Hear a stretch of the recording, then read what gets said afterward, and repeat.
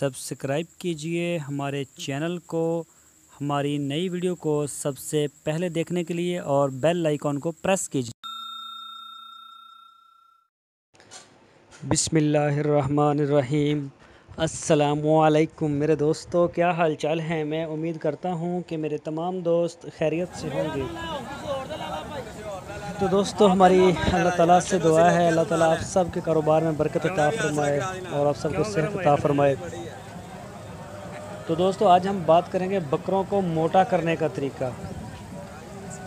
अभी अभी नया साल शुरू हुआ है और इन अगली ईद के लिए जो जानवर आपने तैयार करने हैं, उनके लिए बहुत अच्छा और देसी फार्मूला है। अच्छा एक हम मंडे का तरीकाकार बताएँगे आपको।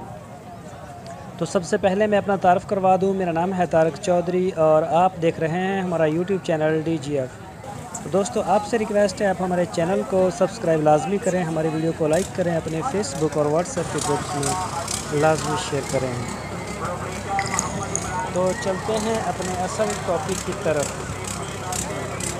तो दोस्तों, मकई। और मकई भी ऐसी ना हो जिसको कीड़ा लगा हुआ हो या उसका पाउडर बना हुआ हो या ख़राब हो या उसको उली वगैरह लगी हो, ऐसी ना हो, बिल्कुल फ्रेश हो और सेहतमंद मकई हो 10 किलो ले लें। और खल बनौला, वो भी बिल्कुल फ्रेश हो, वो भी ना ख़राब हो और वो 20 किलो ले लें। और खल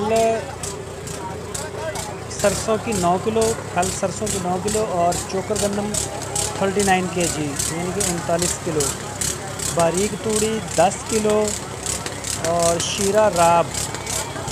ये 10 लीटर ले लें और मिनरल मिक्सचर जो है वो एक किलो नमक एक किलो ये टोटल वज़न सौ किलो हो गया आपका।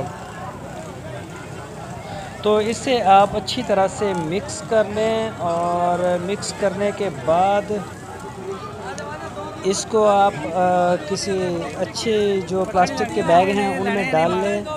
और इनको आप महफूज कर लें। रोज़ाना की बुनियाद पर आप अपने जानवरों को पहले ये उसके वज़न और कद के हिसाब से देना है आपने उम्र के हिसाब से।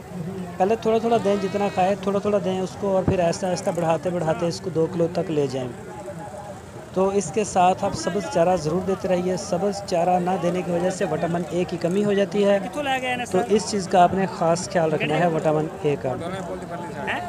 तो इन जो आपका जानवर है, अगर आपने उसकी डवर्मिंग भी करवानी है और डवर्मिंग के बाद आप इसको, उसको जो देना शुरू कर दें तो इन आपको बहुत ही अच्छा रिज़ल्ट मिलेगा। बेशक आप कुर्बानी के लिए तैयार करें या फिर कमर्शियल कि आप खुद तैयार करके उनको बेच सकें। तो दोस्तों, मैं उम्मीद करता हूँ आपको हमारी आज की वीडियो, हमारा आज का टिक्स ज़रूर पसंद आया होगा। तो आप जुड़े रहिए हमारे चैनल के साथ, क्योंकि हम रोज़ाना की बुनियाद पर अपलोड करते हैं अपने चैनल पर। गॉड फ़ार्मिंग से रिलेटेड मालूम डेयरी फ़ार्मिंग से रिलेटेड और पोल्ट्री फ़ार्मिंग से रिलेटेड मालूम तो इन आपको किसी न किसी जाविये से ज़रूर मालूम में आपकी इजाफ़ा होगा। तो आप हमारे चैनल को सब्सक्राइब लाजमी करें और अपना बहुत सा ख्याल रखना। फिर मिलेंगे एक नई वीडियो के साथ। अल्लाह हाफिज़।